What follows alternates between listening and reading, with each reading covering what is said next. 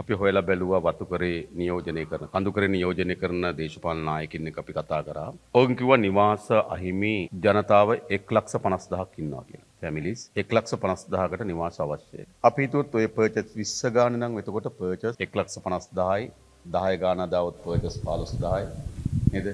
20 ගාන දාවොත් දුන්නු පර්චස් 30000යි. එතකොට මධ්‍ය කඳුකරේ පරිසර පද්ධතිය කඳුකර පිහිටීම නිවාස ඉදිකිරීමට හැකි වේවිද? කුඩා කැඹිලි වලට බෙදීම යහපත්ද අයහපත්ද? මේ ඔක්කොම පරීක්ෂණ කරන්න. එහෙම නැත්නම් අපි ඔයාලට ගේ හදාගන්න ඉඩම් දෙන්නම් කියන එක මම හිතන සාධාරණයි. එනිසා මම දිගම්බර മന്ത്രിවරයා හම්බෙච්ච වෙලාවක ඔහුත් එක්ක අපි දීර්ඝ ලෙස සාකච්ඡා කරා. කොහෙද ඉඩම් තියෙන්නේ? කොතනද අපිට දෙන්න පුළුවන්කම තිබෙන්නේ? මොකද අපිට අධික බෑවුම් සහිත ඉඩම් වල ගෙවල් හදාගන්න දුන්නොත් නේද? පද්ධතියත් කඩා වැටෙනවා ගේට් කඩා වැටෙනවා. ඒ නිසා අපිම ලාභ නේද? ලක්ෂ 5කට පර්චේස් 20 ගන්න වගේ ලාභ කතා නම් කියන්නේ නැහැ. අපි ඉතාමත් හොඳ ඒ කියන්නේ අපි ඉන්නවා මෙතන ඒ පුරවැසියන්ට නිවාස ප්‍රශ්නයක් ඒ පුරවැසියන්ගේ ආර්ථික ප්‍රශ්නයක් ඒ පුරවැසියන්ගේ සමාජ ප්‍රශ්නයක් විසඳිය යුතුයි. ඔවුන්ට නිවාස ප්‍රශ්නයක් තිබෙනවා. ඔවුන්ට ආර්ථික ප්‍රශ්නයක් තියෙනවා. ඒ විතරක් නෙවෙයි සමාජීය ප්‍රශ්නයක් තියෙනවා. න වතුකරේ ජනතාව කඳුකර ජනතාව කිව්වොත් ටිකක් අඩු සැලකිල්ලක්.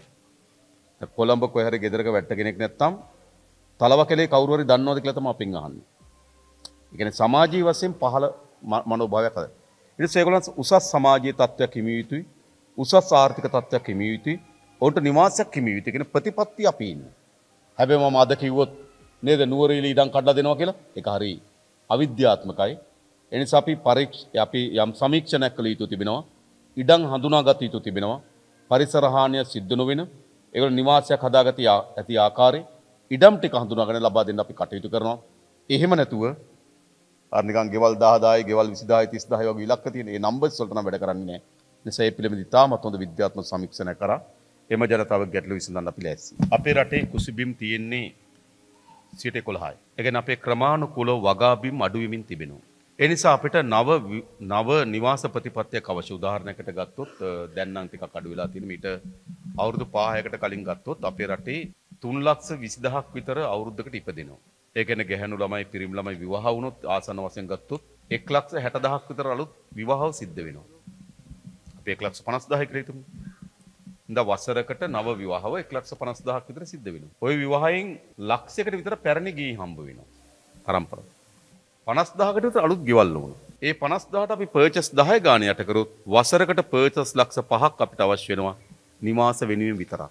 හැබැයි අපිට විශාල ඉඩම් තියෙන රටක් නෙවෙයි. අපේ වර්ග කිලෝමීටර් 65000 නේද 610යි.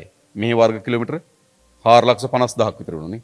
මේ 450000ක විතර මිලියන 10 හමාරක් ජීවත් වෙනවා. අපේ 65610ක මිලියන 22ක් ජීවත් වෙනවා. මෙහෙ බැලුවොත් ආසන්න වශයෙන් ගත්තොත් වර්ග කිලෝමීටර් 25 දෙනයි. වර්ග කිලෝමීටර් 25ක් විතර ඉන්නේ. ලංකාවේ වර්ග කිලෝමීටර් 343ක් ඉන්නේ. වෙන විශාල ජනගණත්වයක් තියෙන රටක්. ඒ නිසා අපි තව තවත් තනිමහල් නිවාස මේ මේ ප්‍රොමෝට් කළ යුතුද ප්‍රවර්ධනය කළ යුතුද? අපේ ප්‍රතිපත්තිය නම් රජයේ හදන සෑම නිවාස ව්‍යාපෘතියක්ම මහල් නිවාස විය යුතුයි. එහෙම නැතුව අපේ මේ ඉඩම් ඉඩම් තමයි වටිනාම සම්පත ඕන තැනක මේ ඉඩම් අපිට ඉතාම ප්‍රයෝජනවත් පරිහරණය කරන්න බැරුව යනවා. සජිත් ප්‍රේමදාස මම දැක්ක ඔයගොල්ලෝ දැක්කනම් අඩි 100 පාර ඉස්සර. ඇඹිලි පිටියේ ඉඳන් සූර්යයට යන තින පාර. දෙපැත්තේ තිබ්බේ සාමාන්‍යයෙන් ගත්තොත් අපි අර අධ්‍යාපනය ඉගෙන ගන්නවා කටු පඳුරු සහිත නේද ලඳු බීම්.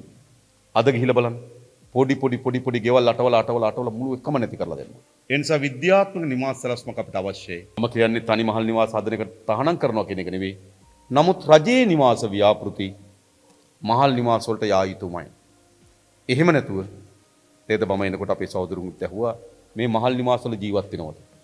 වර්ග කිලෝමීටර් 450000ක් තියෙන රටේ ජනගහන මිලියන 10 අමාරයි ඉන්නේ. වර්ග කිලෝමීටර් 25යි ඉන්නේ. ඒත් මේ රටේ සැලකිත ප්‍රමාණකින් මහල් නිවාස ප්‍රවර්ධනය කිරීමට සටහන් තියෙනවා.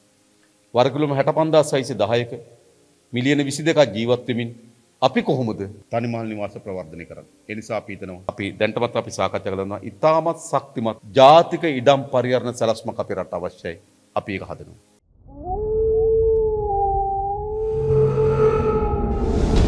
The News Reporter. වාරණය කුමන්ත්‍රණයෙන් තොර අපක්ෂපාති වාර්තාකරණය